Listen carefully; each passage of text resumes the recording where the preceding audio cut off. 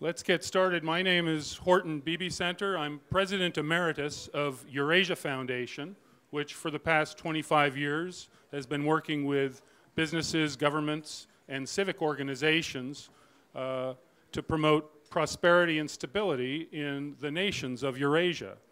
I'm also on the governing board of the Kiev School of Economics and uh, pleased to be a member of the advisory board of StrategEast. The, uh, the title of this panel is Building the New Economy in Eurasia.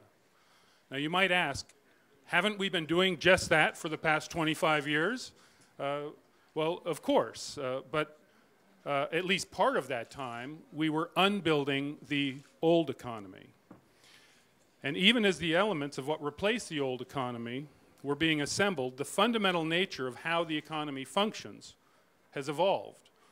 Last night we heard from Prasanna that the new economy, the data economy, resides at the convergence of manufacturing, services, and technologies that produce value-added, technology-enabled, and rapidly adapting industries. Our purpose this morning is to get a glimpse from our panelists of how these various elements of the new economy are understood and practiced here in this country, throughout the region, and indeed around the world. And then to accept Anatoly's challenge of last night when he said, IT is in the title of this event, but the forum is really about policy and what we can do in the next year to help steer the policies that relate to this sphere in the right direction. So our task is to identify the links between what practitioners are doing in the new economy and the policies that are emerging or need to be shaped for the optimum benefit of all of us who are living in the new economy. Now we're fortunate to have a distinguished panel of entrepreneurs, policymakers, economists, and industry pioneers to guide us in this discussion. We have, starting from the far left, Alexander Bornyakov. He is Deputy Minister of Digital Transformation of Ukraine and a founder of several IT companies.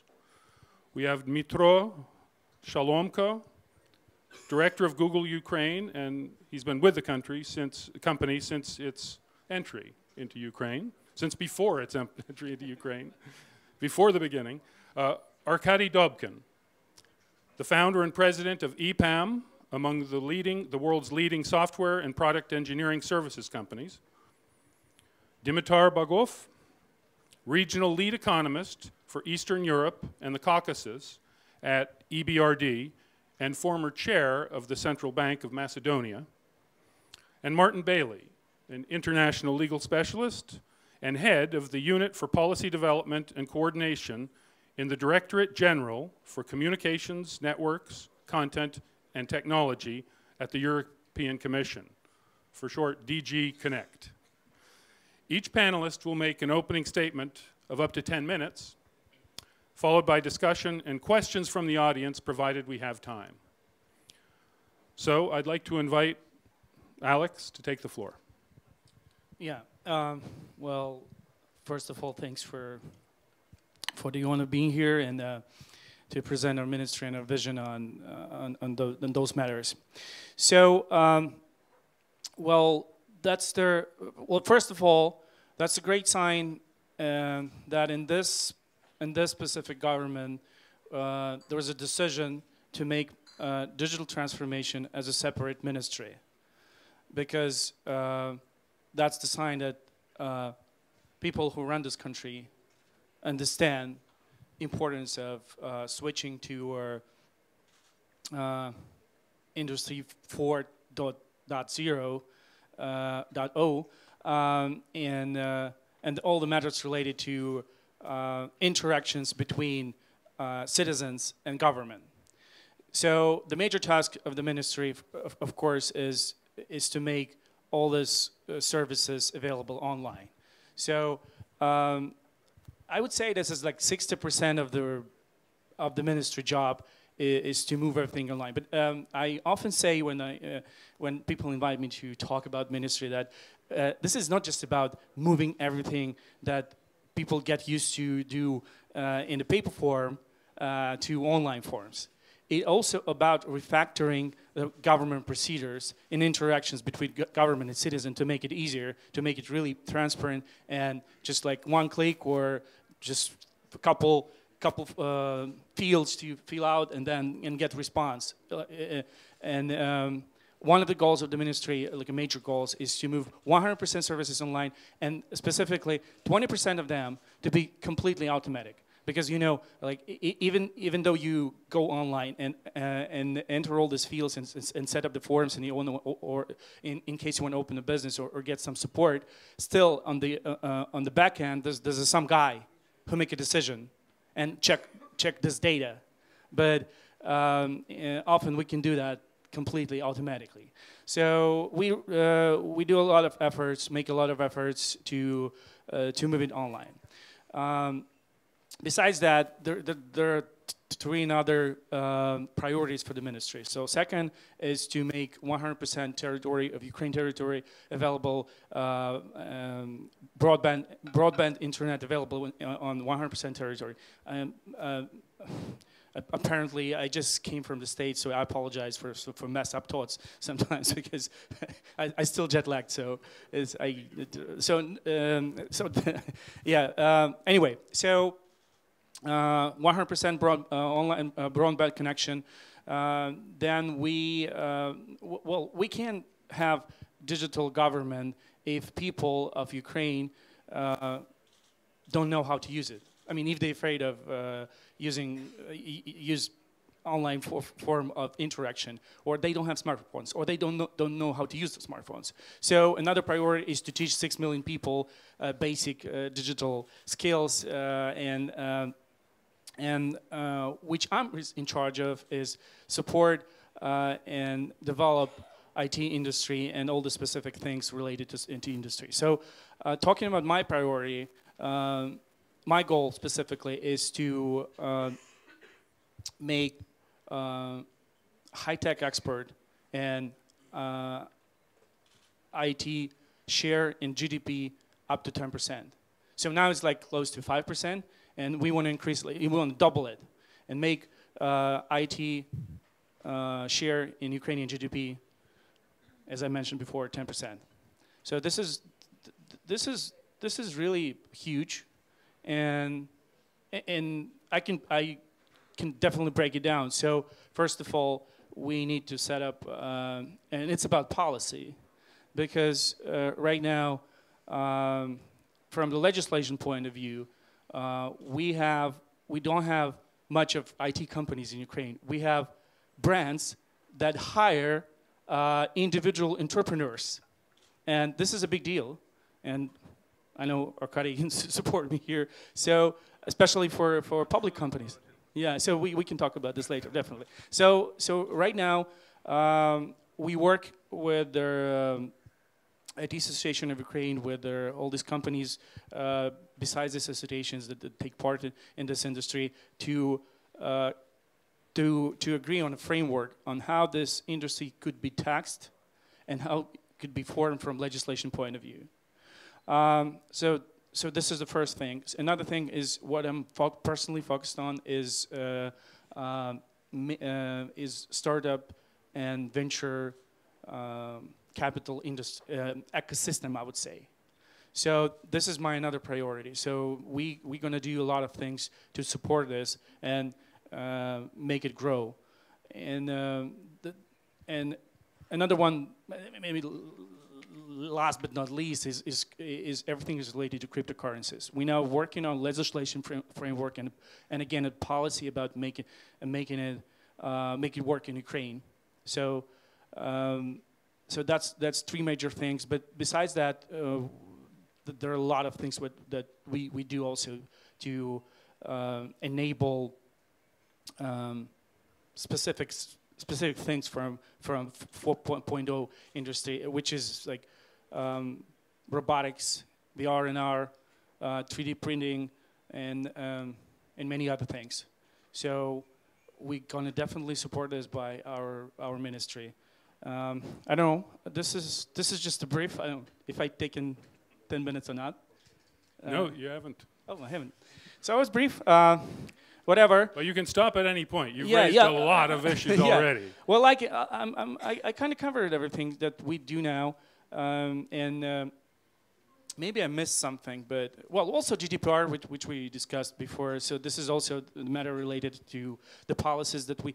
Uh, well, basically, we take a lot of efforts to harmonize uh, our laws with the European Union, Uni- uh, Union laws, and uh, well, not just European unions, but also, for for instance, it's uh, anti-money laundering uh, provisions and BEPS provisions, because financial transparency is also very important. Um, well, I I just recapped what I missed. so uh, another important issue that I'm taking care of is synchronizing um, IT, um, I would say worldwide IT infrastructure with Ukrainian IT infrastructure. What I mean here is uh, that some of their well-known services, which work on, on the most of uh, developed countries like PayPal, doesn't work in, in Ukraine. So we working uh, on this matter to bring it here, but not just PayPal because th- there's a couple other things that doesn't work here uh, from in e- e-commerce, in, not just in finance, but also in, in different fields. And, uh, and creative eco- economics, uh, from my perspective, uh, which I'm believer is also part of uh, 4.0 industry, is uh, we can't work with without it. So basically, if Ukrainian citizen can have an account on Etsy or on Amazon or eBay because they the payment method is PayPal, which is also which, is everything related. We we miss a lot of opportunities. So this is this is also our point, and we taking care of the trying to take care of, take care of this. Well, I think I'm going to stop here. Alex, thank you very much. Uh, the, you've, uh, you've brought up a number of issues that I, I think that will generate good discussion among the group. And I, I saw Arkady respond to one thing you said uh, about uh, the idea that as you scale up, as you seek to scale up to double the share in Ukraine's uh, GDP from 5 to 10 percent, uh, that the, the business model has to go beyond uh, the serial hiring of independent consultants. And I, and I hope that, Arkady, you'll uh, provide a, uh, a rebuttal even to that if you see the market in a different way. Um, and uh, the, anyway, the, uh, your, your mention, Alex, that uh, the mere establishment of the ministry sends a very powerful signal um, is, uh, is an excellent point.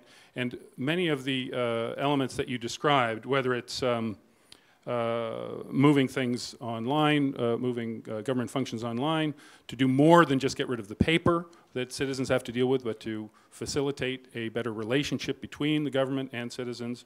Um, whether you, uh, we take your uh, goal of 100% broadband coverage or synchronizing IT infrastructures so that government and business and every citizen of Ukraine can have access, equal access, and overcome the thresholds that naturally exist. The broader policy here that, that comes to mind um, is what do you do about those who are left out?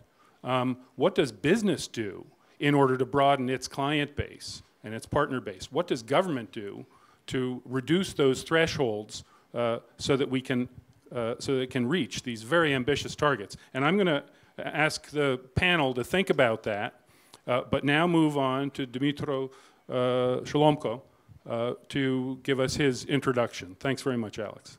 Dmitro. Okay. Um, hello, everyone. I'm Dmitro. I'm running Google. I think I have a couple of slides if we can switch them on right now because, well, uh, I can talk a little bit about um, things. Uh, mhm. Yeah, I just don't know what I see. I don't, don't see it. Uh, usually Google likes to talk about ourselves, but uh, this time I don't want to do it. Um, uh, many of you know what Google does. Many know, many of you know how, actually how Google is operational here. Well, in any, every country, there is no big deal, difference between between Google here and Google everywhere.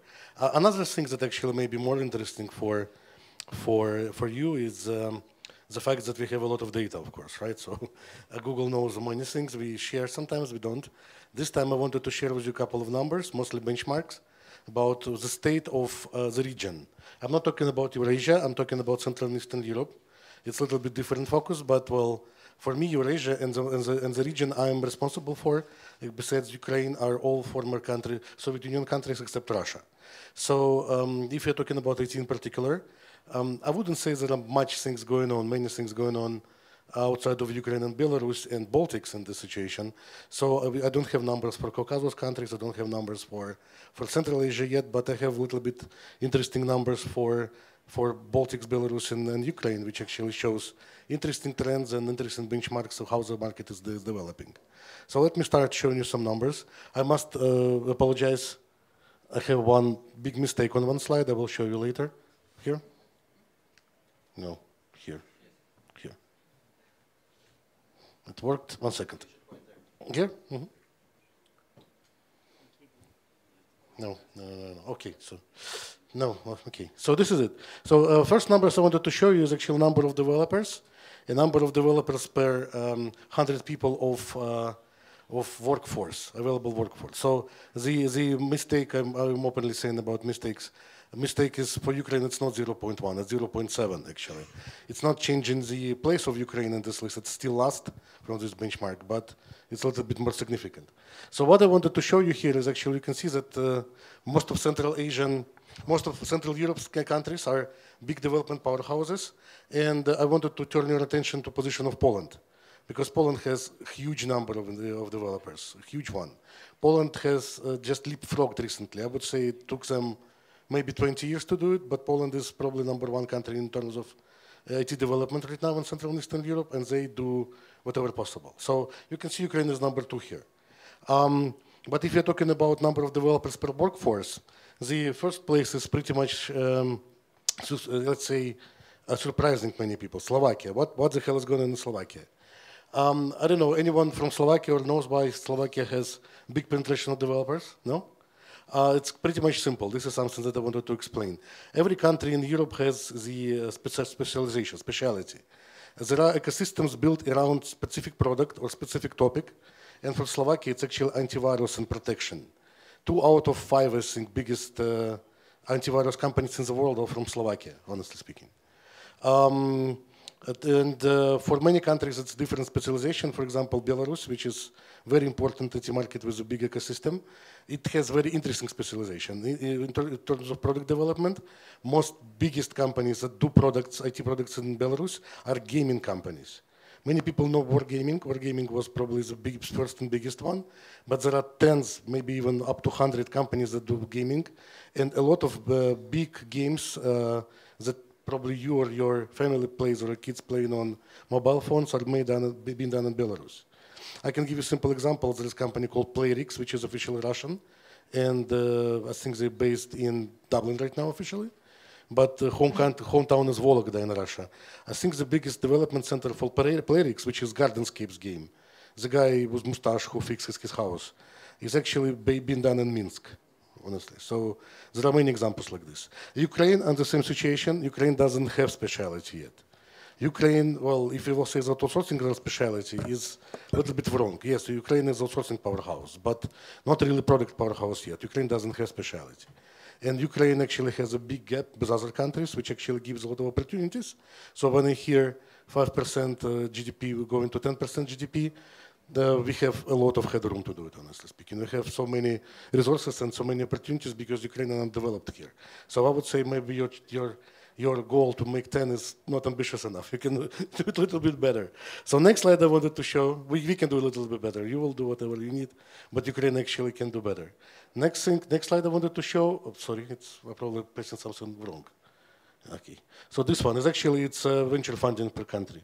Again, Ukraine is in the last place here. Um, number one is, I'm showing here Israel as a number one, and second is Ireland.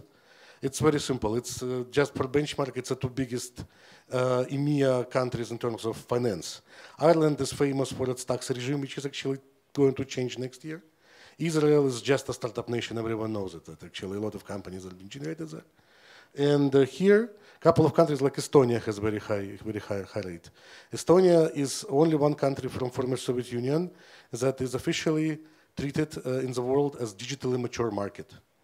This is actually a country that actually that, that is much more developed than most of countries, even in the European Union. One of the top countries and an excellent example of how things around IT should be done.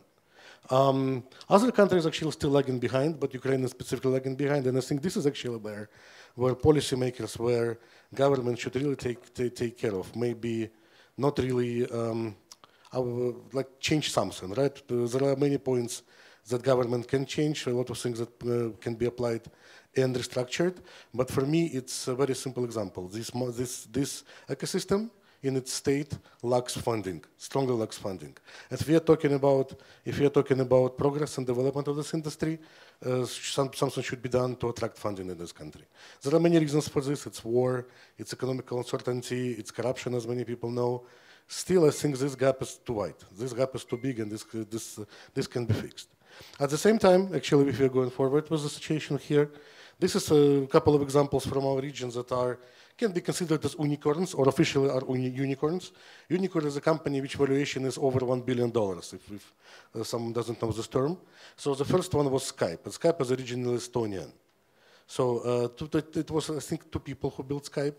They sold it for, I don't remember actually which amount of money to Microsoft. Which, uh, and they actually built, they used this money for develop or develop several projects around in Estonia one project is actually brewery, which is very, very interesting. They invested in beer making. But at the same time, they did many projects around, around IT, outsourcing, uh, artificial intelligence, and several pro companies actually were born after Skype acquisition. And Estonia, uh, Skype was very first company, and, uh, and uh, it fueled development of Estonia. Another example I have here is TransferWise, which is also Estonian company, and partially still coming from Skype acquisition. So this, these, these people who were connected to Skype, they built TransferWise, and TransferWise quickly became next unicorn. It's a banking, it's fintech startup. Well, it's not startup anymore. It's just a very big, big international, uh, international payment solution right now that that is much cheaper than just just banking thing, and they're challenging uh, Swift dominance on the market right now. Uh, I'm showing here Wargaming, which is actually a Belarusian company, very famous one.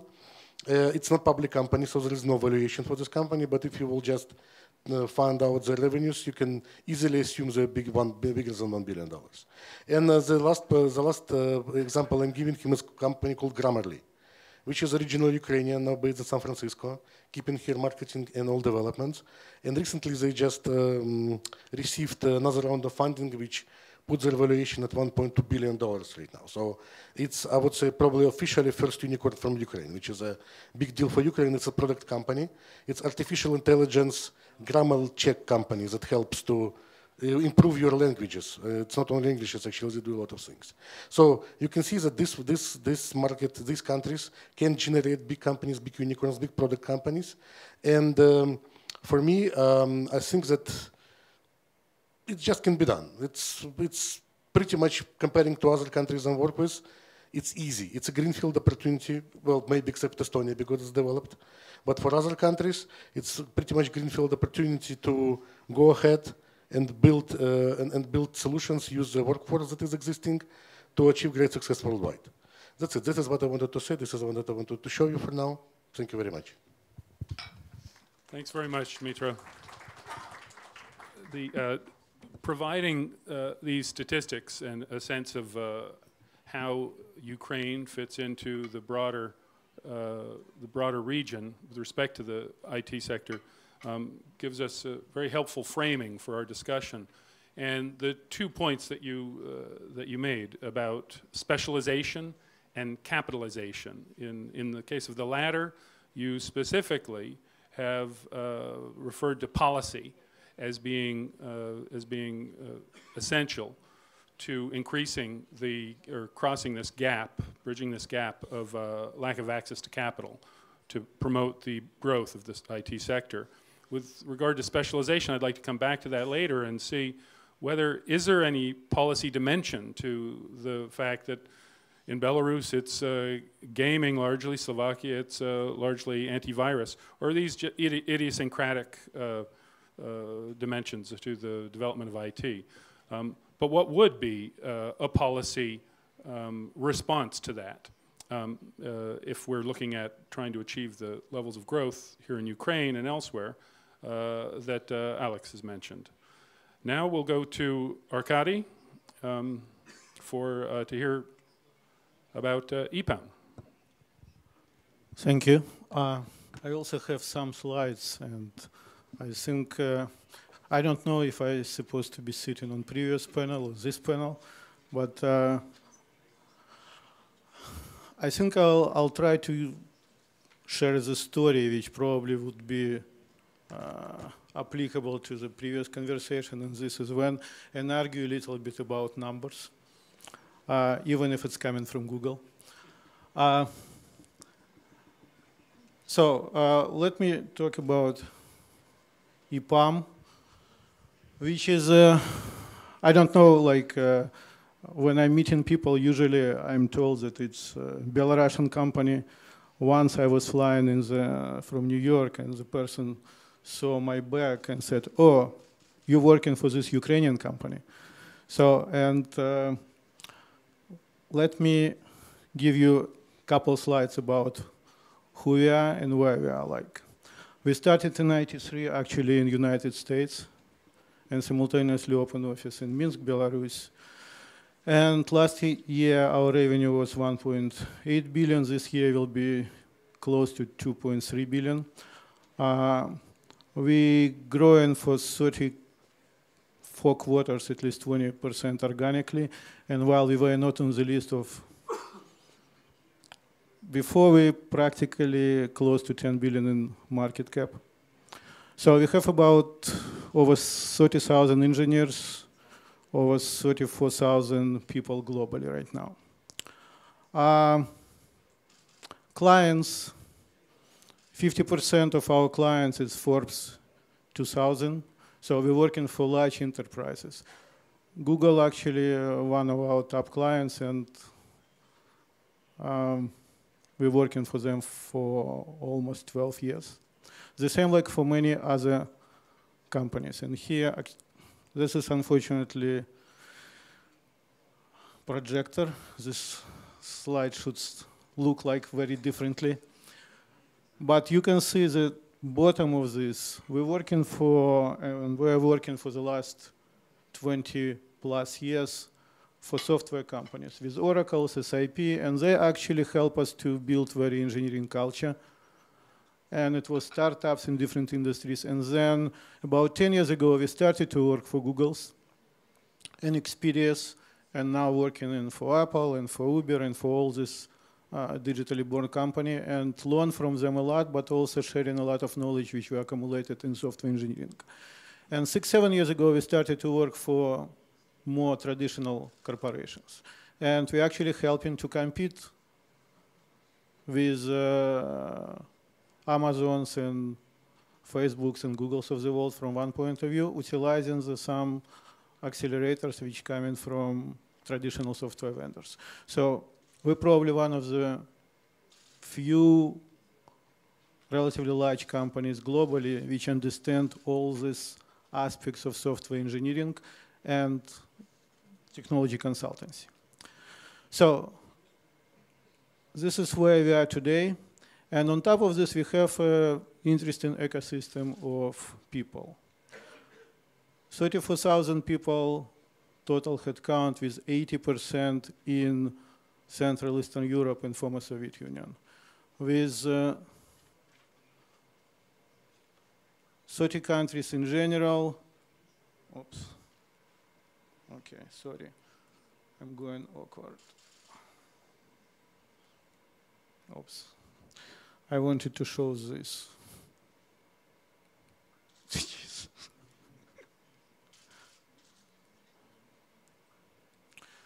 ah. Okay, I wanted to show this. In result, we have uh, 90 delivery centers across the globe today. 10,000 people in Belarus, 8,000 people in Ukraine, 6,000 across Russia, Kazakhstan, Armenia, Uzbekistan, 4,000 in Hungary, Poland, Bulgaria, Czech Republic. So first of all, we know the market very, very well, and that's why like in Belarus with 40,000 total people, 25% just EPAM. And Wargaming about 1,500 people with big development offices in Russia, in Ukraine, and as all of us, like when we say Ukrainian company, Belarusian companies, unfortunately, we all need to understand that all of us, US companies or Cyprus company or something else company. And that's the reality of the globe right now. Companies trying to be headquartered where the market is. And it's a little bit naive thinking that headquarters will start happen here until the market will start happen here. And I think it's a topic of this conversation actually how companies can change the ecosystem. And from this point of view, I wanted to kind of share that from this point of view, we consider it ourselves practically as an ecosystem company with this number of people and with the story how we get here. Uh, so basically about 25,000 people we have in the region. And we started 25 years ago in a bedroom of the small apartment in New Jersey and basement of this apartment building in Minsk. And then we, 15 years ago, enjoyed to see the first Gartner report, which put some Eastern European companies on the map, and you can see a bunch of them there. And we were joking internally in 2003 that we would like to jump from this place to where Accenture and Deloitte and Sapient exist. And at this point, EPAM has about 500 people, mostly in Belarus, a little bit in US. It was only two countries at this time, and we just kind of acquired company in Hungary. And we understand that we have multiple challenges to actually compete globally, and that was a dream. And it was educational challenge, it was legislative challenge, and it was perception challenge. Not enough people were coming from universities. Universities were in pretty bad shape. Uh, local law didn't allow to work transparently to pay salaries as you have to. And perception was that who hell will work in Belarus or Ukraine and why we need like to give work them because we are so much advanced in US or Western Europe. And at this point, we decided to fight those challenges and actually to do IPO on major stock exchange. Uh, when we announced it to our people, then for the next eight years, each town hall, I had a joke when it's going to happen. So, but in 2004, we started internal and external educational activities because we understand that nobody will help but ourselves. In 2005, we initiated the process by putting a concept draft together to change legislation in Belarus to support IT industry and to give it a chance to compete globally. And in 2006, to our surprise, Belarusian government actually embraced the idea and with help with a couple people like Tsepkalo and Myasnikovich, they allow and bring it to the highest level in the country to Lukashenko, approve the new concept. And by the way, on previous uh, panel, people were talking about Belarusian park, that it's a territory. That's actually was the main uh, advantage. That was probably one of the first, or probably first high-tech park in Eastern Europe, which wasn't territory-based. It was, was virtual. So you don't need to be anywhere. You just need to be in specific rules. So these three years were very important. And in another six years, we actually did IPO on New York Stock Exchange and put Belarusian flag next to American. And how did it happen? So EPAM is an ecosystem company. What it does mean? We talking today, we're building like a lot of solutions for big companies where hundreds or sometimes five, 600 engineers need to work on big platform for the clients, on data platform, e-commerce platform, doing consulting, like we need to grow 20% per year. So, and for this, to bring value to the client, we need to become ecosystem ourselves, which means that we need to be innovation company and consulting company and focus of next couple of minutes will be on educational and community company and social responsibility company and at the same time being the best engineering company on the services market. So first of all, 15 years ago, we started our internal training programs. We established special group inside of the company, which nothing new for this. At the same time, we started to work with universities. We're working today with uh, 40 universities across uh, former Soviet Union and Eastern Europe. We train since 2004 30,000 people.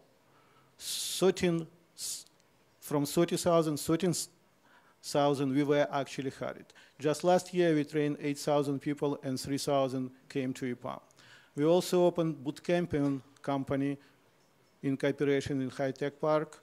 And last year it was enrolled 3,000 people. So we understand what's happening hands-on from our clients. We bring in this to educational process. Uh, we extending this to kids, like last year, almost 4,000 kids were trained in our camps.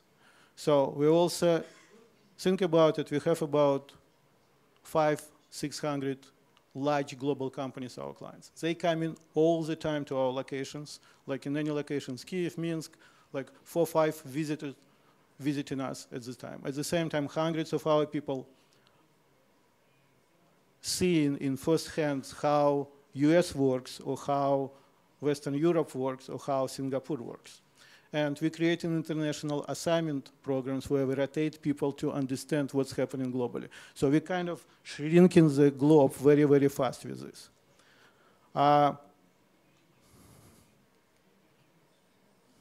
oops, sorry.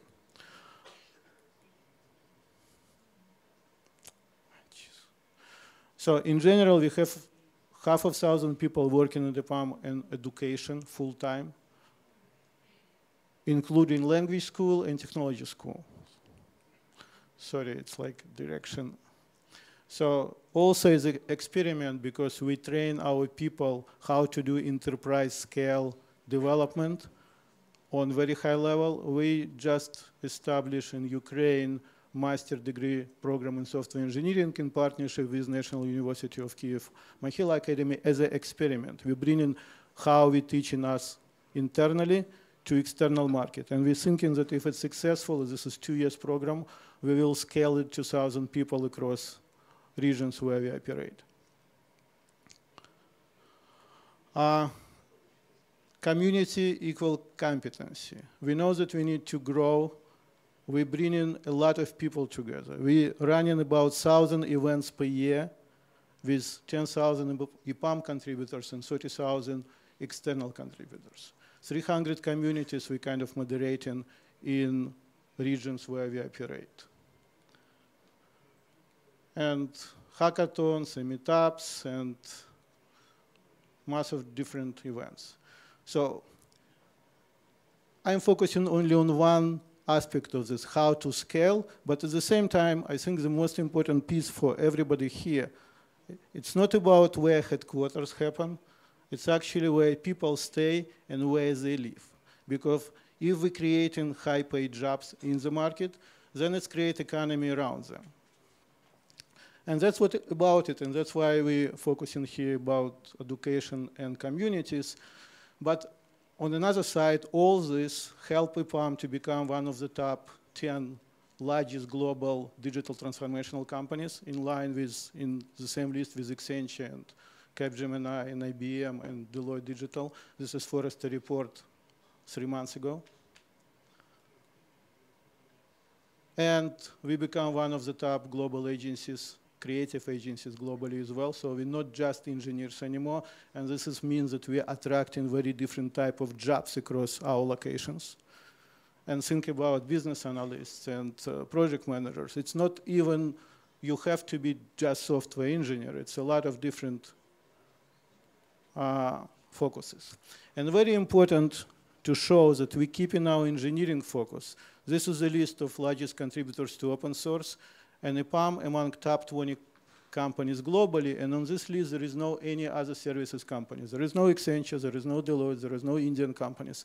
It's only top companies like Google, Microsoft, IBM, and EPAM, one of the top 20 globally. So which means that we found how to actually train very, very good engineers. So with this, we, from 2013, each year on the 25 fastest growing publicly traded companies list, and there are only other three companies which were on this list each year, which is Facebook, Google, and Fortinet, plus us. And we just got on the list of fastest growing Fortune 100 companies globally in 2019, second time. And since IPO, we increased our shareholders' value 15 times. And that's how we're looking for the next couple of years, how to create this ecosystem stronger. So this is like any modern company, we have very robust digital ecosystem which we build to run, train, evaluate people. We also have an advantage to understand how the best in the world doing this because most of them are our clients. This is just a screenshot from our internal system where you see employees, 70,000, which means our current and former employees, and about a million people who were candidates at EPAM. This is potentially very interesting ecosystem. That's why we come in with a program called Work and Learn Anywhere, where we're going to extend EPAM connections practically to each relatively big city across the regions we operate, and beyond that, we're going to open operation in three, five countries, new countries in the region just next year. And create about 15,000 new jobs by 2021. So ecosystem impact, I think that's what we're focusing on. And I think, uh, yes, this is back how it's all create and change the environment. Arkady, thank you.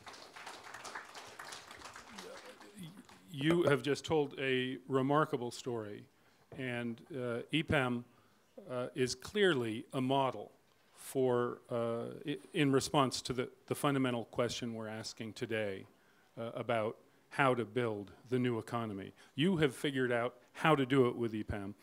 Um, and essentially, you've said that uh, uh, you made a virtue out of a necessity. You were obligated, given the uh, territory in which you were working, um, uh, to try to uh, build an ecosystem that answered those fundamental challenges that, uh, that you faced at the beginning. Where do you get the talent? What about the legislative environment? And what about the fundamental question of uh, perception? Why would we be uh, doing this with Ukrainians, with Belarusians, with others? Um, and my question to you will be, I'd like you to think about it and, and uh, others as well, is what would need to change for uh, the next EPAM, another uh, uh, something similar to EPAM, to emerge out of an apartment and a kitchen and a bedroom in New Jersey, but uh, somewhere in uh, in Minsk or somewhere in Kiev or somewhere in Tashkent. What are the impediments to answering that first fundamental question that that you ask? You know, why why did we start this in the United States? Why can't we start it uh, right here in the Eurasia region? And so I'll, I'll, be interested in, in coming back to that. Um, and also to the broader point, uh, I, uh, I hope that we can uh, ventilate some of uh, the, the point you made towards the end, is that uh, it does not depend on geography. It depend to, to build this kind of successful model. It depends on the rules. And where are people living who actually do the building, uh, the engineering, the, the roots of which EPAM has uh, stuck with all these years? So I'd like to come back to those themes that you've introduced uh, as we continue our discussion. Uh, now uh, I'd like uh, Dmitry Bogov to make some opening comments. Thank you, Horton. These are all fascinating stories. Uh, what we heard uh, now about uh, EPAM uh, in the previous session about Encarta, ThinkWheel, and uh, these are driving the uh, economies, the new economies uh, in the region. And uh, this is the only way how to fully benefit to bear the fruits from this new economy. But the issue is that these are isolated cases. So the key here, the key question is how to create environment where this will be just a, normal uh, uh, way of doing the of doing business and just uh, business as usual. To have many such companies and only in that case, uh, we would have uh, Eurasia to bear the full benefits uh, from new economy. And when we are talking about new economy, this is not a new issue. I mean, first time the term new economy was uh, launched uh, in uh, back in '83 by the cover article of Time magazine when they were speaking about the new economy. And at that time, they understood under this moving uh, from heavy industry to an economy based on new technology.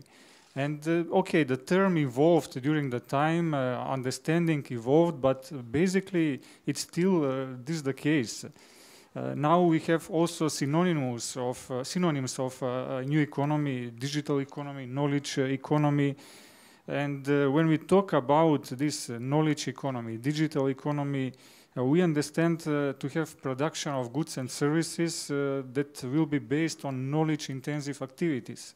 So the key here is knowledge. everything is around knowledge.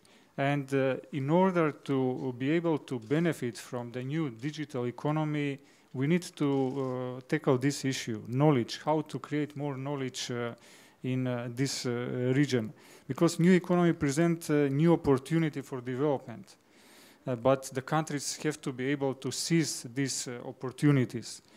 And challenges are high. Uh, just for illustration, uh, McKinsey Global Institute estimates that by 2030, 14% of all global force, which is close to 400 million uh, workers, will have to find new occupations. And this is something in line that Prasanna was talking yesterday about. Or Bloomberg uh, uh study finds that 10% of workforce in 2030 will be in occupations that does not exist today. If we talk about the kids that are entering the school uh, today, uh, probably after 20 years when they enter the labor force, this percentage is even higher, 20, 30%. So the question is whether we are preparing these kids uh, on a right way in the education to be able to work in this new environment, to work on these new occupations that we don't know how they will look like today. So the key is here to create an educational system and not just educational system. Edu education is the key, but we need, uh, as the others were speaking about the whole environment, uh, uh, Uh, ecosystem that will uh, promote uh, such uh, skills that would uh, be needed in the past and our economies would benefit from this. So if we don't know now how these uh, working places uh, will look like, uh, then we need to create some flexible skills in the new workforce. So uh, critical thinking, uh, uh, creativity, and digital knowledge. These are the elements that certainly would be required in the future after 10, 20, 30 years. So uh, how to prepare our countries for this? Because uh, countries uh, who, who uh, rely on routine jobs and uh, they have very small share of university educated population face the highest risk uh, in this evolving new economy. I would say that even university education is not a guarantee that uh, people will be employable. Uh, again, Prasanna was uh, speaking yesterday how how how much of today occupations would be automated in the future. So uh, Uh, we need to choose uh, the right uh, uh, uh higher education, the right skills to offer to today's kids in order to be able to drive our economies in the period to come. Uh, certainly STEM education is uh, something that will be required uh, still in the future. But again, I will say creative thinking, uh, critical thinking. These are uh, skills that need to be part of the regular curriculum. And uh, let, let's see how, how the, uh, our region, which is strategy, uh, East, strategy East region, feature in this. I've, I, uh, EBRD this year developed uh, one uh, so-called knowledge index, knowledge economy index, and this is based on four pillars. institutions for innovation, skills for innovation, then innovation system, and ICT infrastructure. And if we take uh, this StrategEast uh, focus region, these 14 uh, countries, then we can see, okay, the, the, the, the measure here is from 1 to 10, 10 being the highest value. Uh, Baltic states uh, are certainly on the top of the list, and we calculated this index for uh, 38 countries, uh, which are countries of uh, operation for EBRD. So Baltic states are on the top of this list, and they have a score of 7 to 8.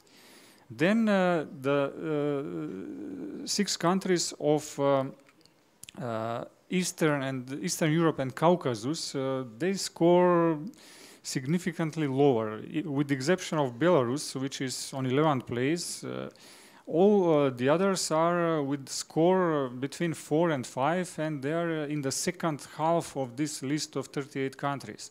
And if we move further to Central Asia countries, then they are all on the bottom of the list of 38 countries where EBRD operates, and the scores are between 2 and 4. So this is significantly uh, low, uh, uh, significantly low scores for these countries, just uh, in comparison within EBRD, EBRD countries which are not uh, the best uh, in the world. Uh, if we compare with developed economies, then this region is, I mean, EBRD countries of operations are far lagging behind. So we need to focus on these issues. institutions for innovation, uh, uh, our, our region, uh, with the exception of Baltic, is featuring very low. Also in innovation systems. So institutions for innovation, this means level playing field, good governance, good systems of protection of property rights, then innovation system, how we are, how much we are uh, uh, investing in uh, innovation, uh, what is the ecosystem to enable investment in R&D. again, very weak scoring. Skills for innovation, ICT infra infrastructure, the scores are a bit, are a bit better, but still, do we have enough skills? If we look at the export of services of uh, countries just of Eastern Europe and Caucasus, they're growing every year by 20 to 30 percent. So it's significant, but from very low base, with exception of Belarus. All the others are growing from very low base.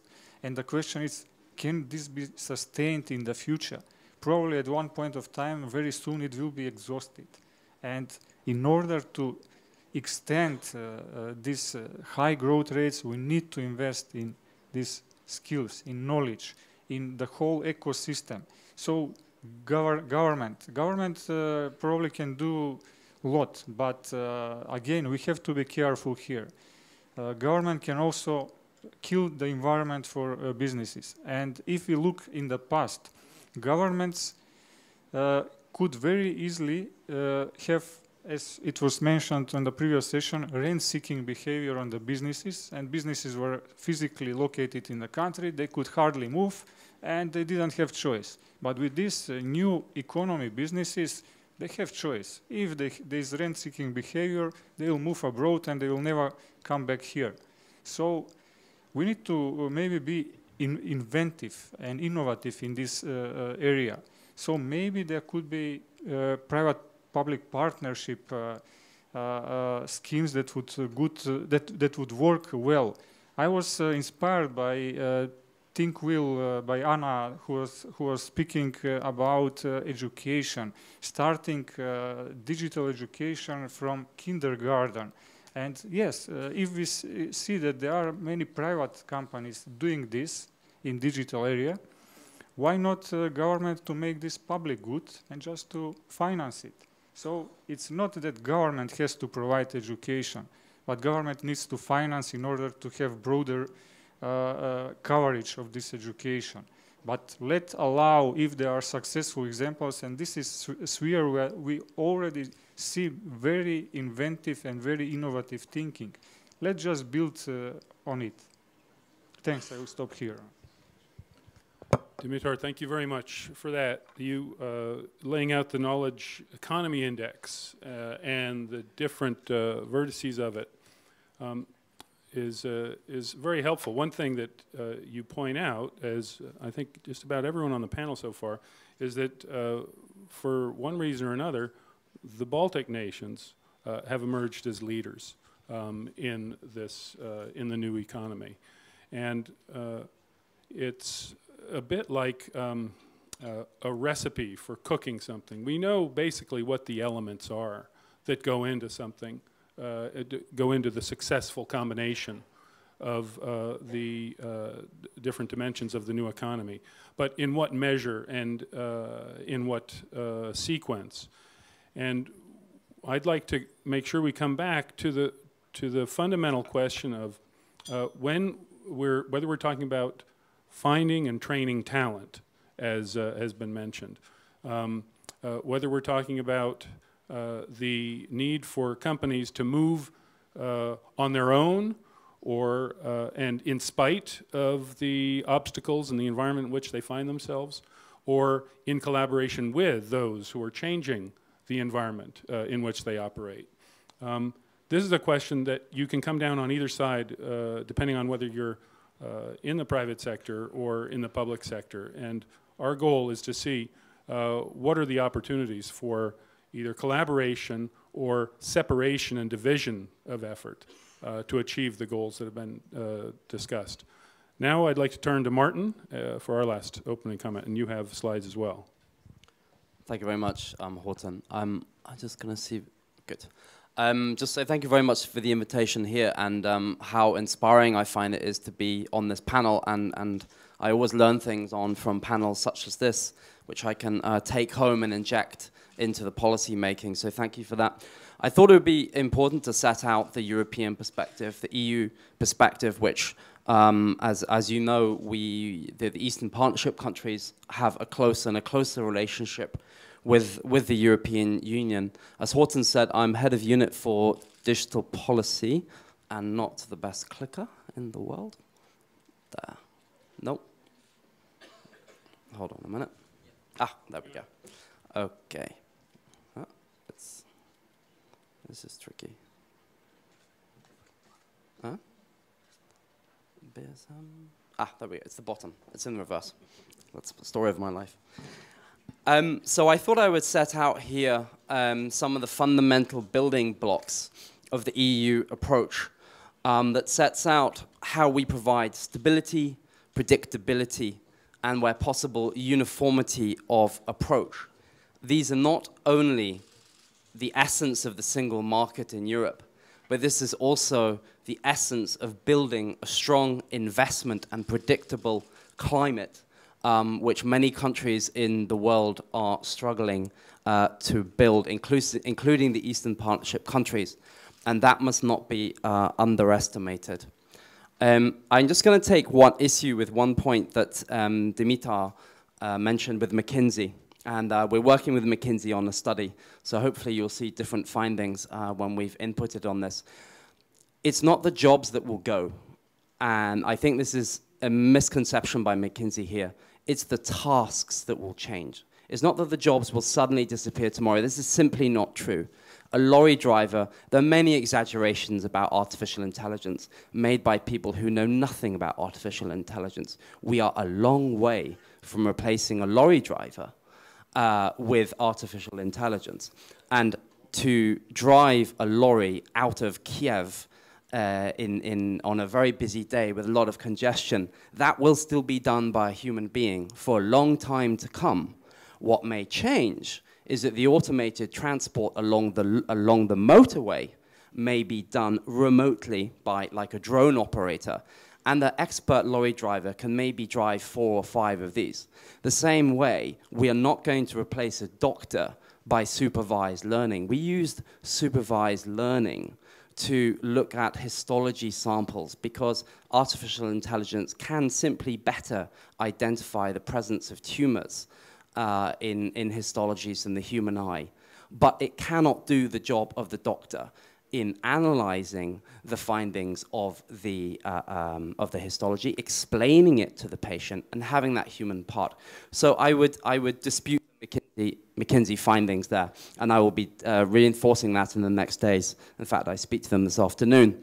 Um, and in fact, uh, Andrew Ng, who, was, who is a, a professor at, at MIT, and he was also at Google Brain and at Baidu, amongst his friends, he, he come, tries to come up with professions that cannot be replaced by technology. And they come up with a hairdresser, there's also the gardener, there's also the, um, the plumber. Now, technology may enhance those, but when we see a complete, because we are a long way from achieving the dexterity that's required from a gardener and a plumber, a hairdresser. So I just wanted to put, put that slight, slight myth away, and there are many, many technology experts and professors who would uh, agree with these findings. It's the tasks that will change. That some jobs may disappear, but we, it's the relationship between man and machine that is going to evolve in, in the next minute. So I'll, I'll have a go at McKinsey this afternoon. Um, so what I want to talk about is this, is this EU approach. We launched the digital single market back in 2015. It was a big priority for President Juncker. I'm not going to go through every step, but you'll see there are three building blocks you can read for yourselves. They're built on better access to digital products and services for uh, businesses and consumers. There's a digital environment. This is a predictable and stable environment, a regulatory environment. This is essential. And for me, what is perhaps the most important part is building the digital economy. If you do not have one and two, you cannot have three. If you do not have access, if you do not have the framework, then you cannot have the, the, all the benefits that, that come out from the digital economy. I'm going to move quickly to my next slide. Um, there have been 30 legislative proposals uh, in the last four or five years. I've worked on uh, two or three of them myself. Um, it's not just legislative, but we have now passed 28 out of 30. So they've been adopted by um, the European Parliament and the European Council. This is something of a record. You may recognize some of these uh, pieces of, of law. I worked on geo-blocking and also on, on platforms. We were the first regulatory authority uh, in the world to begin to regulate uh, the relationship between online platforms and businesses. So trying to create more fairness uh, in the world of platforms um, on all online platforms. It's not just Google and Facebook and Amazon, uh, the GAFAs. Um, and we'll be proceeding with more legislation in the next months you probably don't know what on earth AVMSD is, is the Audiovisual Media and Services Directive. There, we try to limit or ban harmful content. So all these nasty videos and video, video footage you may see online, this is banned under the, under the, AVMS, under the AVMSD. More of this anon if you wish. Um, I'm going down. Ah, there we go. Just to say, it's not all legislative proposals. Um, there are certain measures um, which, which, which are either non-binding or, or, or, simply initiatives and policies. This mostly reflects the, the differences in, in competence. The European Union has exclusive legal competence in certain areas, for example in telecommunications, for example in competition law, but it doesn't in others. This is where the government has the competence, particularly in areas like uh, defense, so cybersecurity, uh, and, uh, and skills, and, uh, and then of course industrial policy. I haven't added to this, to this slide, but a very important part of EU policy is the funding. So the Horizon Europe program, the old H2020, uh, which provided massive amounts of funding for research in ICT and other areas, and our proposed Digital Europe program, which is about deployment, where we're actually going to buy, for example, the fastest supercomputers in the world. We'll put money into artificial intelligence. We'll put money into cybersecurity. That's 10 billion euros, which isn't much, but let's say it's, it's a start. Um, I'm going to just jump ahead because I prepared more slides and for time. Europe is not without its challenges, and I think the first one of these about a divided, uh, a divided Europe, and of course, there's that we have the political populism, um, which has been exacerbated hugely uh, by social media. We cannot deny this, but also the economic disparities. And I was comforted to hear the the, the deputy minister say um, that they're having a broadband plan for the whole of, uh, of, of Ukraine. This is vitally important because not only does technology provide opportunities, but it can also increase the disparities and the differences. So if you have fantastic internet coverage in Kiev and you have poor internet coverage in Mariupol, this can affect the delivery of services, which directly uh, affect the, the bodies, the physical bodies of citizens. I'm giving, for the example, in e-health in, in Madrid in Spain, they provide uh, a particular service for stroke victims where the ambulance personnel, when they arrive at the scene and somebody has had a stroke, the, the uh, ambulance staff can speak directly to the hospital, to the practitioner, the expert in strokes. Why? Because the first 13 minutes of a stroke are absolutely critical. It's between life and death, and also uh, the risk of, of, of, of becoming handicapped mentally or physically. Now, if you can imagine, if that service is available only in Kiev and not in Bukovel or Mariupol, you will then create a massive disparity in the quality and delivery of healthcare, not just gaming or other service, but can really make differences in people's lives. It's not just, just, just economic. Um, you can read for yourselves uh, in, on, on the slide there we have our own uh, problems and, and, tensions and challenges in Europe, and of course, we are trying to catch up in many areas uh, with, with the US and, and, and China, and you can see the amounts invested in those countries. Clearly, in China, the state is investing vast amounts in new technologies, let's say developing technologies such as artificial intelligence. Earlier this year, China, uh, the state invested 300 billion euros in one in one SME, in one small company for artificial technology. That's a, oops, am I going the right way again? Oh yeah, that's a slide so you see uh, where the European Union um, sits with, with uh, internationally. You can see there's a difference between the top of the EU, right at the top, and the, and, and the middle, the EU average, and at the bottom. This is the DESI. We, we provide an index it's a digital economic and societal index. Um, we do this every year and we compare countries across the European Union and we also compare our performance according to certain criteria uh, with, with the rest of the world. Um, jumping ahead, you may or may not know that we have a new, we're forming a new commission. This is our commission president, uh, von der Leyen. And like President Juncker, she has made digital a priority. Her priority is called A Europe Fit for the Digital Age.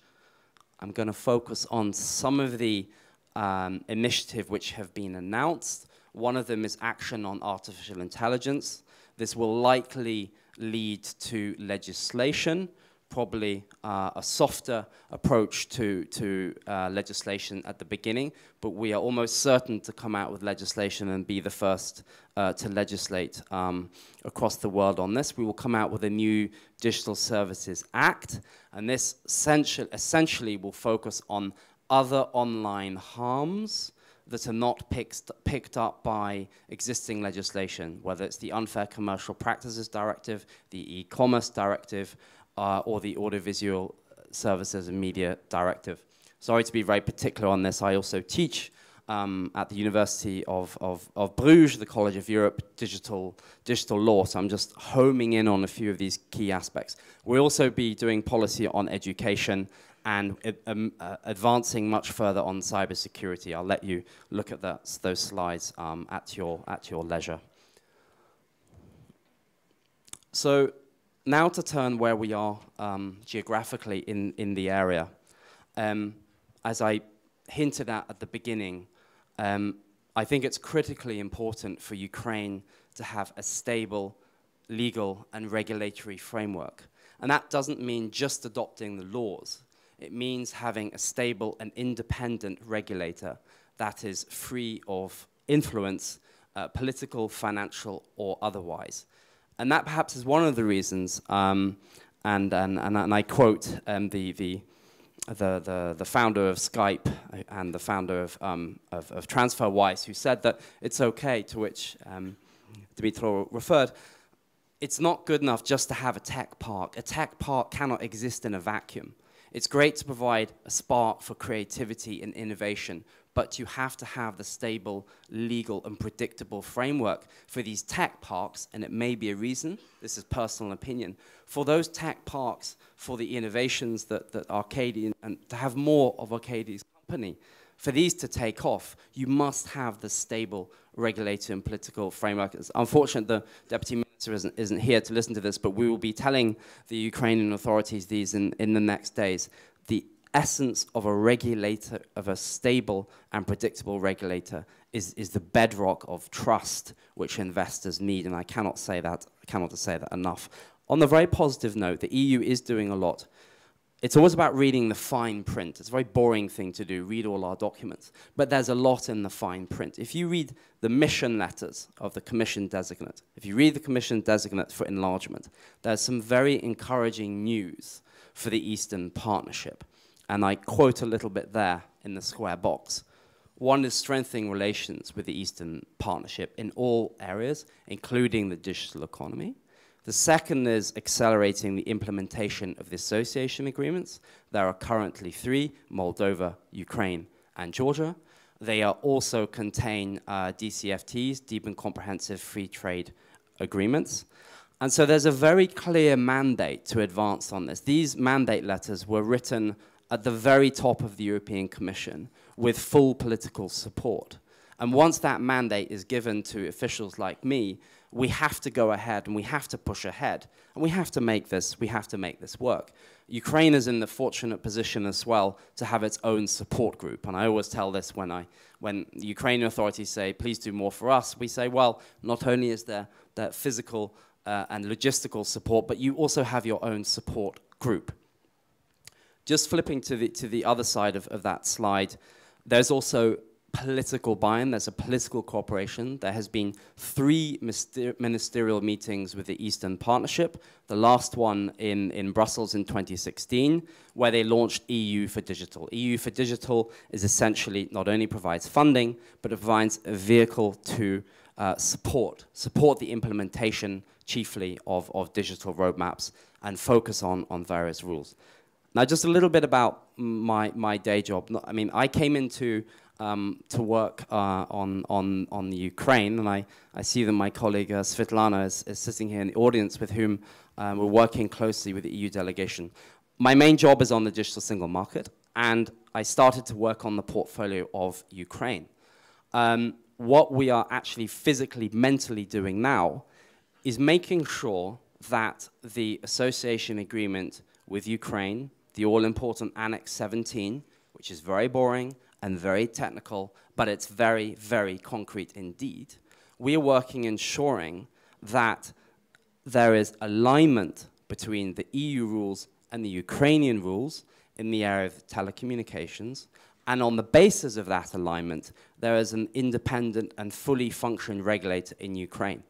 If we manage to achieve this step, I believe this will make a phenomenal leap forward for Ukraine in providing the stable legislative and regulatory and political framework that it needs uh, for, for investments to, to take off. Um, I think I've probably uh, said enough there, but I would also speak just on one, thing that, that Arkady mentioned, this, this importance of, of, of project management that not only do you need the nerds and the geeks and the political support, you need the leadership you need the project managers who can take things from the words, who can take the ideas and turn them into a very successful project. And I hope there will be many much more in Ukraine. Thank you. Thank you very much, Martin. so we have uh, we, we began uh, the panel with uh, with Alex uh, laying out uh, an extraordinarily ambitious goal for Ukraine, 100% access to broadband. And Martin um, uh, described what essentially in, in his brief is uh, handling uh, the fundamental question of how do you achieve region-wide goals while at the same time drawing out the strengths of the individual countries and, and uh, members in the EU. Um, to what extent is there an overarching policy solution to the challenges that have been laid out? And to what extent do we need to look at uh, individual or corporate, private sector initiative? So let's start with, uh, in the time that we have remaining, uh, this issue of access. And I'd like to hear uh, uh, from both from uh, Dmitro and Arkady, um, our non-governmental folks here at the table.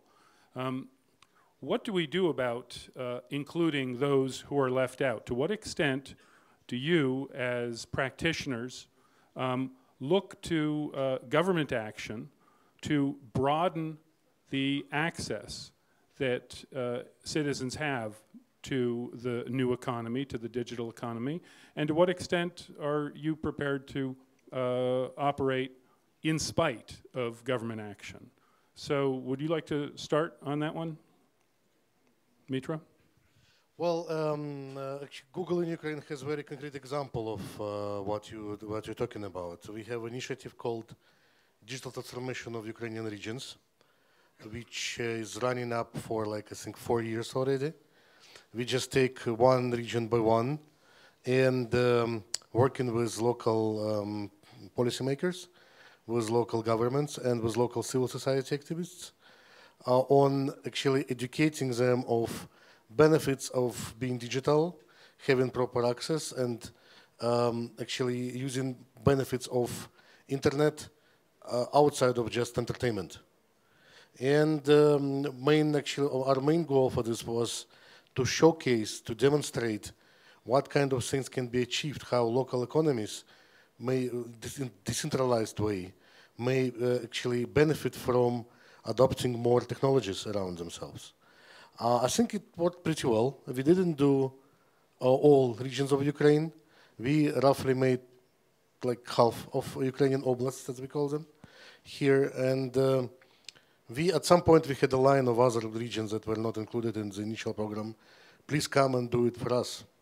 Which we honestly replied that our role is not really doing this. Our role was to show you how it works and empower you with tools, not necessarily only Google tools, because we had situations when we demonstrated something based on Google, and the region uh, go on and actually uh, implemented it with Microsoft help at some point. It's fine.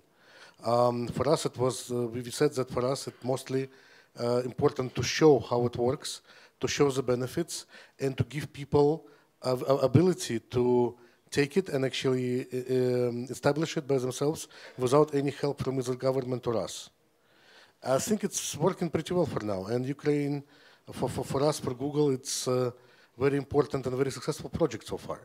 So this is it. But, we think that more importantly, it's not some, somebody who should go ahead and do it in terms of is it corporate, corporate corporations or local governments. We believe in civil society and uh, being part of civil society with, with tools that actually can generate actions like this.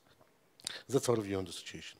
And are there any uh, aspects of this proof of concept that uh, that go beyond uh, civil society initiative? Are there impediments that, um, as you uh, as you did your debrief on the initiative, uh, whereby there were any actions or absence of actions by the government that you would you feel would be more successful in a future test? Um, uh, from from our practical experience, we we believe that actually local governments did almost exactly this, the, the things we wanted from them. They were not they were very supportive in many cases, in most cases. Uh, our experience says that the least uh, known the region is, the least uh, GDP generating the region is, the more enthusiasm was coming from government to do something about it. Um, I'm not sure actually that I can give you a good example of uh, either support or absence of support here. It was pretty well working for me. I was a little bit even more surprised with the level of enthusiasm and support we got from government and the situations. I think that uh, people just started to realize that it's important, regardless of where they're based and what kind of jobs they do. Great, thank you.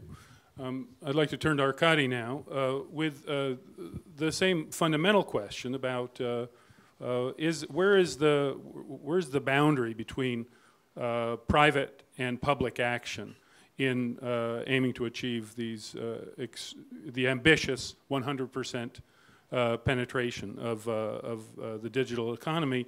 And if you would add to that, Arkady, um, with reflecting on your experience um, in solving it yourself by the creation of your own ecosystem to get access to talent, to then translate and adapt that talent to uh, the needs that your company was uh, fulfilling for clients.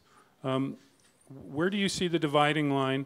And do you feel that uh, if you had lived, uh, if, if EPAM had emerged in an ideal legislative and regulatory envi- environment, you would have done it the same way? You would have done a thousand events a year? Is that something intrinsic to your success, or was that making a virtue of necessity? Uh, I guess we all understand how difficult these questions and how all these answers is uh, sometimes not helpful. Uh, because like uh, also saying like what would happen if high-tech park in Belarus never would be established? Would it come today here or not? And I still don't have an answer.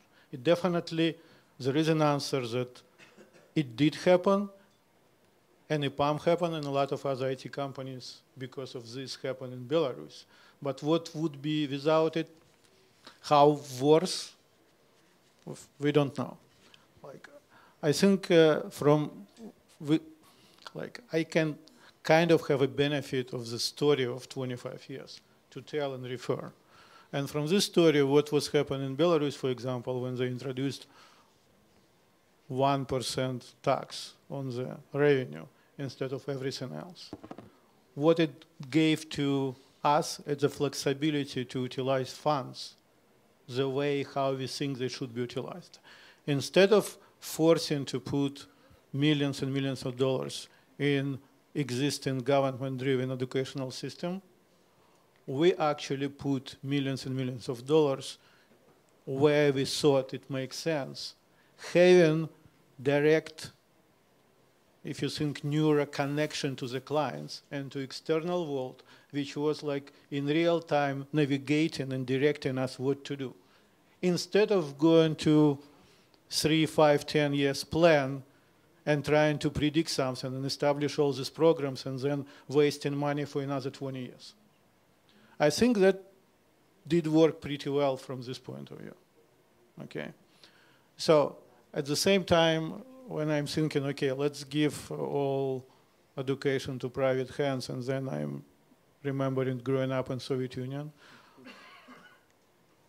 And now, 30, 40 years later, thinking that it actually was pretty good educational system, completely government run. So that's why I don't know the answers. You guys, like on another side of the equation, should have more knowledge how to do it better. Uh, but I think the right, the right partnership should be there. And I think we're augmenting what basic should be established by government. And then I think the rules should be established, and we talked on previous panel. I think that's the main point. It should be the rules, and rules should be equal for everybody. Okay? Because like, to go in some of the countries we're talking about it, like most of them allow you to create private school for kids or private universities. In reality, some people can do it if they have connection and some don't. And that's the main problem, which actually limiting the market right away. So I think if private schools and private universities would be easily created, or at least not easily, I understand there is certification, there is assessment, all of this, but the same rule would be, I think it would be great, great deal. But then we're talking about different topics which people discussing today, corruption and all of this other stuff, which is always the limit.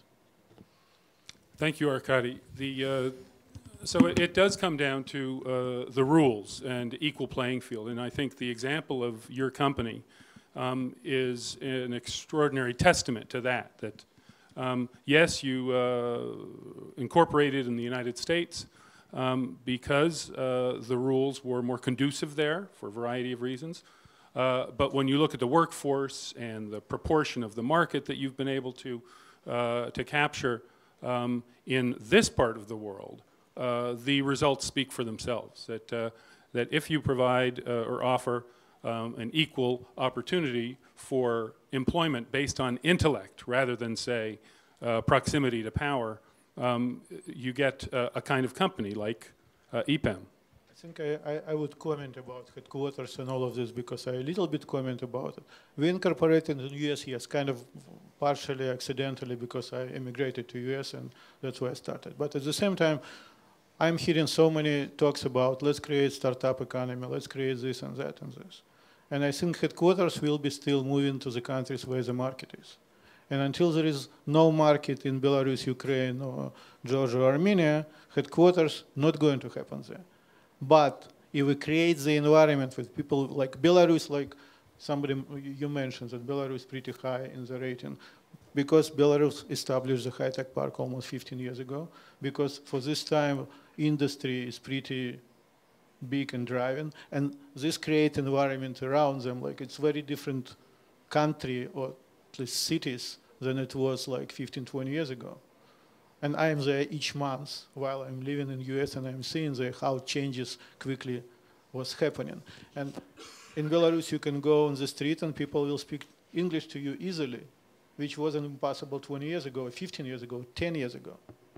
So, but headquarters still not going to be there until and I think the hope that we establish this is product economy or services economy or whatever, and Google, it's a subsidiary of Google which is in the US. So just not to be a little bit naive about it. So while we're uh, anticipating the, the, emergence of markets that uh, are scaled to such an extent that uh, these headquarters may migrate uh, further to the east, um, you mentioned, uh, Arkady, um, the dichotomy between, say, public and private education, the uh, uh, assessing the relative value uh, of uh, public versus private initiative in this area and how it translates into opportunity. Um, I'd like to turn to Dimitar now uh, because he mentioned the, the in, in his knowledge index the, um, the essential, the necessity for uh, bringing new talent in to the digital economy uh, at an early stage. And indeed, you mentioned the idea of public-private partnerships. And so whether we're talking about the identification or cultivation of talent, or whether we're talking about the application of uh, the knowledge that uh, you assert is so essential to success in the uh, digital economy, uh, how would you come down on this question of where does, uh, where does collective and political and government action end and where does private initiative start? Certainly there should be combination of uh, both uh, sides because uh, we cannot exclude uh, anyone. Uh, government will continue to be crucial in the education and it cannot be replaced but certainly it could be amended by some successful examples. And I was uh, uh, stimulated by what Anna uh, spoke about, uh, which was very successful case. I mean, uh, obviously government was not present, it's not present yet in uh, early digital education of the school kids and the private sector already started some initiative. So why not to support this initiative and why this initiative not to grow with government support, but government support not meddling into this process, but just improving it and supporting it financially. Because uh, at the end, this, this should be government goal, to introduce digital education from the early age. It's not just a matter of uh, getting the benefits of the new digital economy. But it will be a matter of uh, surviving after 20, 30 years. Uh, economy is evolving in that direction, and those who don't have such digital skills will have difficulties on the personal level to live into such uh, environment where we will have internet of things and everything will be digital So those who will not have digital education after 20 years will feel the same like uh, at the beginning of 20th century those who were illiterate. And uh, also on the level of the governments, governments who don't have uh, countries, countries who don't have uh, people digitally educated, they would be pushed uh, to uh, lower value added jobs and industries. And there will be clear division. And yes, uh, I mean, uh, many low-end and high-end jobs in the future will remain. They will remain forever. But many jobs we are witnessing now in the middle are already disappearing. When you go to the airport, you check in by yourself. So many clerks lost jobs. When you go to the bank, you actually you don't go to the bank. You're making payments online. You're uh, taking money in the ATM. So many clerks lost jobs. So many jobs in the middle are already lost. Uh, when last time you booked a holiday through travel agent? You booked by yourself through Booking, through Airbnb. So this is uh, a division to low-end and high-end uh, jobs, and uh, we don't want our countries to uh, remain uh, those that will provide uh, low-end jobs and, low, and provide workforce for low-end industries. And that's why it's important government to take initiative into improving the general ecosystem for new economy, for digital economy, and education is certainly one of the key aspects of it, but not just uh, education. Governance. Governance is uh, on the first place because we are talking about a region which is not uh, um, uh, which is not uh, scoring uh, very well on governance issues. So rule of law, good governance, good institutions, and just to promote our transition report, which will be uh, launched uh, next week, uh, my colleagues did one exercise where they estimated what would be the governance dividend. So improving the governance in uh, all these countries of operations, but there was also example of Ukraine, which I will mention. If Ukraine improves governance, just half it, if, if, it covers just half of the gap to the G7 economies in the next 10 years, it will add 1.2% uh, on the GDP growth, which is substantial and which shows what is the power of governance. And this is just the direct influence, but indirect, much bigger, because better governance would create better environment for uh, these flourishing new industries, and all this will multiply the, uh, the growth potential. Thank you, Dimitar. Uh, Alex, while you were away, we um, have come up with a formula for achieving 100% broadband and digital economy participation, which uh, we'll tell you after the panel. Uh, let, us uh, as we draw to a close, I, I want to come back to, uh, to policy, to, to Martin, and then Alex will give you a last word. Um, and uh, as I said uh, after your remarks, uh, in a way, uh, Martin, you, you are faced with, uh, with, with, a challenge that encompasses everything we're addressing here. Um, how do you uh, think big and region-wide and interregionally to level the playing field, to set the, the environment for the achievement of our digital economic goals um, while at the same time taking into account the idiosyncrasies and the particularities of the different jurisdictions, uh, sub-jurisdictions in which you operate. And so I'd like you to think about uh, where you ended your remarks uh, about uh, Ukraine, Eurasia. Um, and can you give us an example of, uh, of a policy innovation or policy activity uh, that you've seen has had a uh, measurable effect on addressing that uh, digital divide? Um, that, the, the, the last one is very, very difficult to answer, uh, Horton. Um, just to to, to recap on a few things, I think so for the region, clearly, and I think all the speakers here uh, to my left emphasize the high level of, of STEM skill that you have. So balancing between the Soviet style system and then the new modern uh, Eastern European education, very, very strong in STEM sciences, which actually is weaker. But then you, which was open to the public. And then you contrast that with, with the US that has possibly the, the, the, the, the best excellence in the world with Oxford and Cambridge. I know that Oxford, uh, two years in a row, has won best university in the world, but where we can really attract those experts, and many of those experts come from uh, former Soviet Union countries. So there's a very strong basis in that. Um, making this possible and, and, and, the challenge, I mean, talking a little bit more again of, of, of my daily work, um, of making the, the association agreement, uh, making making that implementable and making that implemented, which is, which is an, an enormous challenge. Um, and I think what this requires is not only, and this mustn't be underestimated, um, ensuring that the letter of the law is implemented and applied, and this is critical for the, in, for the investors and for the, the, the Arkadys who are immensely successful uh, entrepreneurs.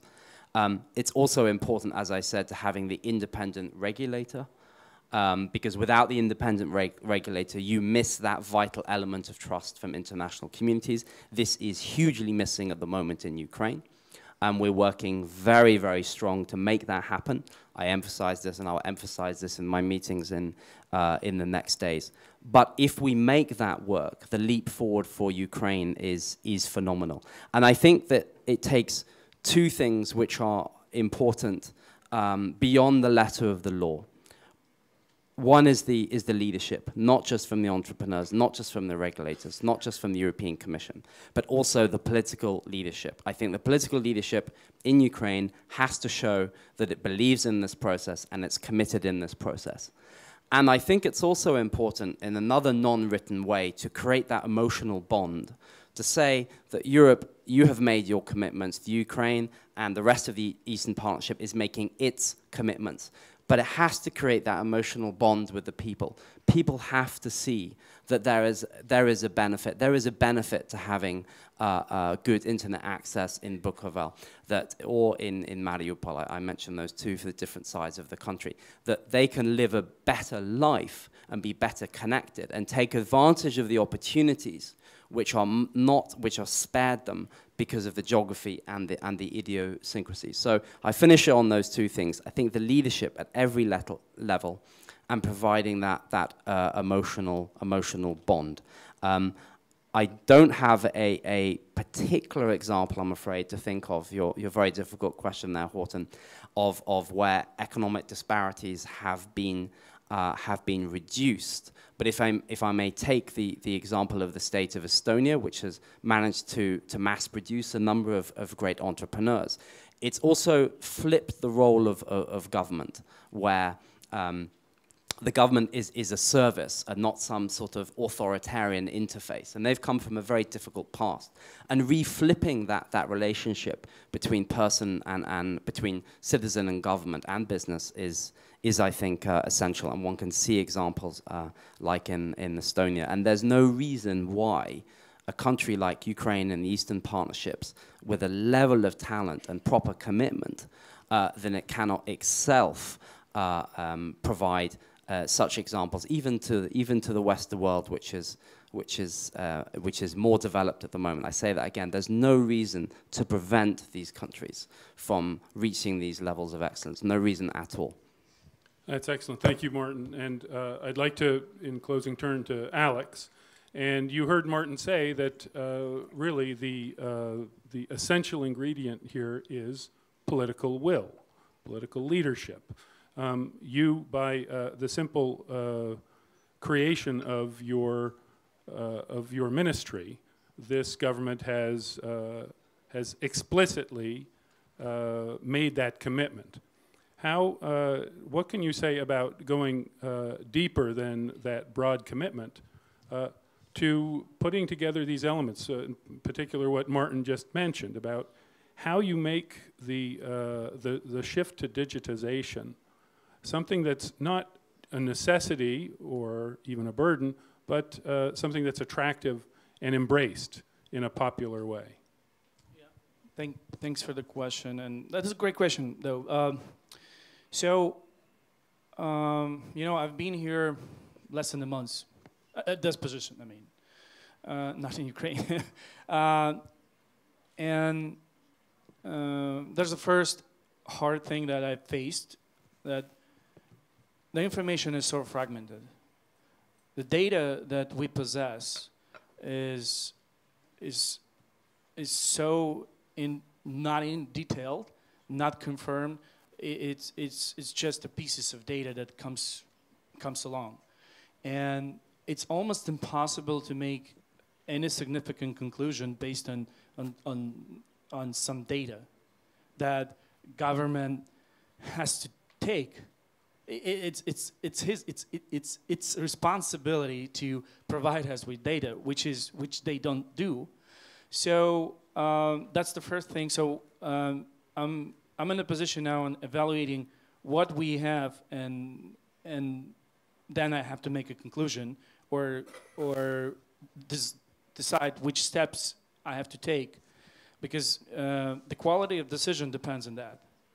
And now the quality of decision is so poor because most people in the government they they make decision based on their emotions Th- that's true. And I was, I'm, I'm, i came from business. Uh, I founded a couple IT companies and, and I, I was running them. And I, I don't remember times. It was that time when it was just a couple of us, like EPAM mentioned, was was a small apartment that when we started. Uh, actually, I started from outsourcing business, oh, software outsourcing business. So, but then we established a, a strong analytics team. Uh, marketing was based on, on certain research, and, and then, then we do, uh, and, then we take this information and, and, and we, make decisions based on that, which government does not. Um, that's the that's the first hard thing, and and uh, it is related to political will because uh, you can certainly certainly make commitment if you know where you are and, and, and what kind of resources you possess. But they don't know. So it's hard to make a commitment to government to anything because they, they don't know the, the details of what's going on. And um, that's, that's the first thing. Another thing that I'm, I kind of faced recently, and this, is, this sort of upsets me, um, we don't have a national idea. So, and that's and that's the most uh, terrifying thing for me as of now. Because now we discuss, and that's, that's in our title, strategy. And there is no strategy. There, there, there's basically like certain steps that we have to take. And the strategy is to increase GDP, and the strategy is to create more uh, jobs, which is not strategy. And and the national idea is completely absent. So um, I can't say that we're talent nation or startup nation as Israelis did. We can't say so. And and because of uh, because lack of this or, or, or, absence of this idea, we kind of I don't know we we are everywhere, and in the same time we're nowhere.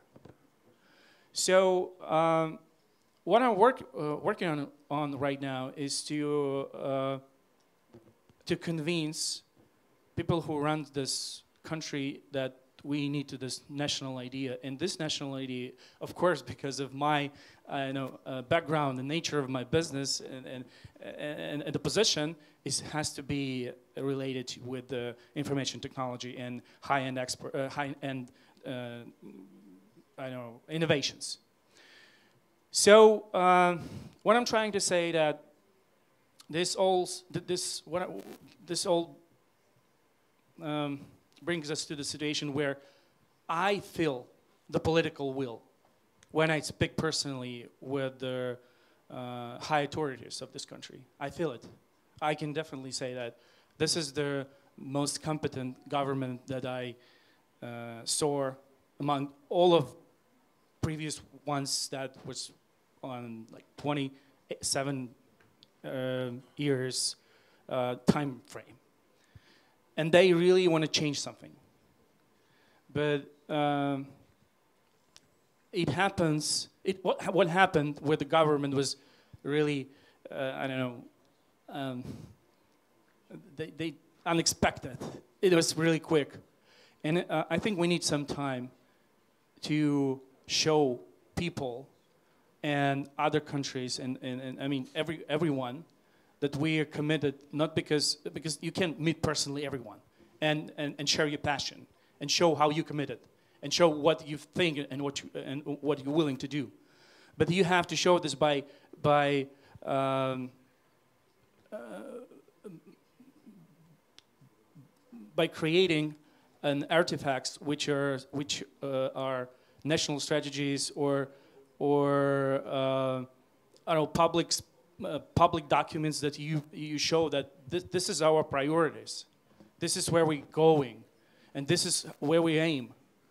And since we don't have this information yet, um, I'm not sure uh, what's the what's the uh, what's the priority of, of, of, Ukraine right now in terms of uh, where this where this nation goes, and, and, and what's the, the what's what what it, where it has to be in 20 years or so.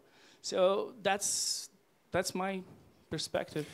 Alex, thank you very much. We're uh, going to continue this conversation in our various sessions uh, this afternoon, including uh, the topics that were raised that we didn't get to, such as capitalization uh, and uh, the what are the particular regulations and uh, operating environment that's necessary to to build this new economy.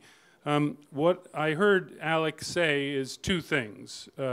First of all, that there is political will to build the digital economy in Ukraine, and perhaps uh, uh, the country is best, uh, better positioned than it has been in a generation to do that. And secondly, uh, uh, inferring from what you said, uh, the policy is to understand, analyze, and actually utilize the data that we are presented in this new economy in a way that enables this country and all the nations of Eurasia to achieve their ends of development and meeting the needs of their citizens. So on that, we will close this panel, and I would like you to join me in thanking the panelists for their thoughtful comments.